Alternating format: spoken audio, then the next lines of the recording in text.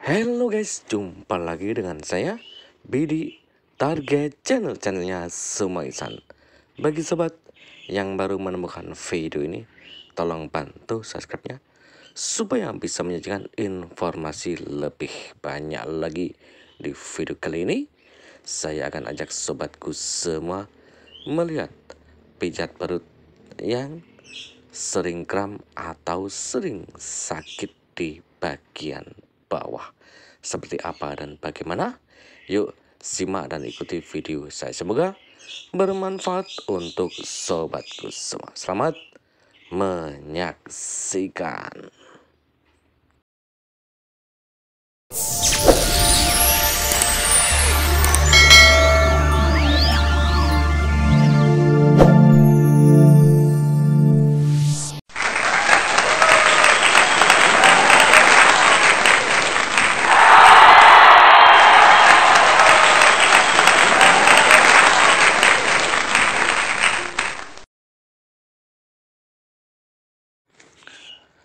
Sering kali mengalami kram perut, capek, dan badan terasa lelah setelah melakukan aktivitas harian.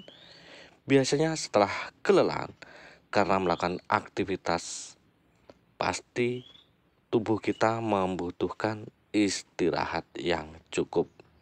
Istirahat dapat dilakukan dengan meluangkan waktu untuk berdiam diri dan juga bisa merelaksasikan diri dengan cara pijat baik pijat tradisional, pijat relaksasi atau pijat akupuntur. Dalam kurun waktu dua minggu, biasanya peredaran darah mulai tidak sehat, lelah, dan stres. Maka dianjurkan untuk melakukan terapi pijat. Tidak terlalu sering juga dan tidak diwajibkan setiap hari untuk melakukan cukup dua kali seminggu Pijat yang dilakukan dengan rutin dapat membantu menurunkan depresi, gangguan cemas, kram, dan capek.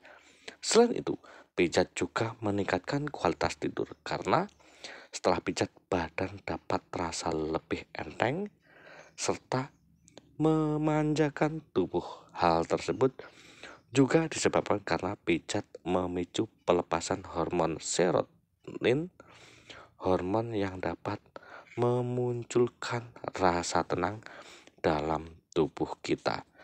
Bagi sobat yang memiliki jadwal keseharian cukup padat, maka luangkanlah waktu untuk beristirahat. Pijat tradisional akan memberikan saran sesuai yang dibutuhkan oleh badan kita, sehingga pemijatan menjadi lebih bermanfaat agar mendapatkan pemijatan yang maksimal, lebih baik menjadwalkan sesi pijat pada jam-jam istirahat atau jam luang kita sebelum melakukan kegiatan atau yang paling aman saat waktu kita sedang berlibur atau waktu tanggal merah. Pemijatan bisa dimulai dari bagian bawah tubuh pada kaki sebagai tumpuan karena banyak peredaran darah yang bertumpuk di bagian kaki. Hal tersebut bermanfaat untuk melancarkan peredaran darah menjadi normal, lebih baik, dan lebih efektif jika pijat dilakukan pada sore hari, sehingga bisa langsung disambung dengan istirahat pada malam harinya. Jadi sangat tepat dan pas ketika kita pergi ke terapi pijat pada sore hari. Jika sobat ingin melakukan pijat atau refleksi di tempat pijat, maka lebih baik kita antri atau pesan dahulu agar dapat mengetahui jadwal yang tepat serta layanan pemijatan yang telah disediakan. Memiliki berbagai macam layanan pijat. Otomatis para pemijat akan kebanjiran pengunjung. Maka dari itu, daripada kecewa, kita lebih baik mengatur jadwal atau konsultasi dulu dengan ahli terapisnya agar kita tidak terlalu lama antri atau lama menunggu waktu proses pemijatan ke kita. Pijat tradisional memang mampu melenturkan otot-otot yang tegang, meredakan letih, bikin kita lebih nyaman dan rileks. Satu jam saja terasa sangat berarti jika dilakukan di tengah kesibukan dan kebenaran. Apalagi kalau kita tinggal di kota besar yang segalanya bergerak cepat. Apa sih yang nggak boleh dilakukan sebelum atau saat dan setelah pijat? Ada beberapa kondisi kesehatan yang nggak disarankan untuk melakukan pijat misalkan sedang demam, flu, punya gangguan kulit, hipertensi, hernia, osteoporosis, dan varises. Kalau kamu atau sobat ingin melakukannya sebaiknya sobat konsultasi dulu ke dokter atau terapis. Stimulasi yang fokus pada area kaki ini memang sangat menyenangkan, tapi yang nggak boleh melakukannya siapa? Yaitu ketika sedang hamil atau sedang kita cedera kaki atau pembekuan darah. Sebaiknya hindari untuk melakukan pemijatan. Secara medis pijat di area perut nggak dianjurkan. Apalagi kalau kita sedang menstruasi tubuh memang pasti jadi lebih pegal menjelang atau saat kita datang bulan atau menstruasi. Pijat bisa meredakannya, tapi sebaiknya jangan menyentuh di area perut untuk mencegah hal-hal yang tidak diinginkan.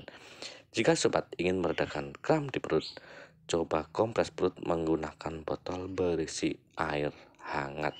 Jadi untuk meredakan kram di perut baik waktu haid datang bulan ataupun waktu kita sedang kambuhnya penyakit emah. Biasanya saat dipijat tubuh jadi lengket karena pakai hands body lotion ataupun sejenis. Tapi sebaiknya gunakan air hangat atau tunggu sampai 30 menit setelah itu biar tubuh enggak kaget.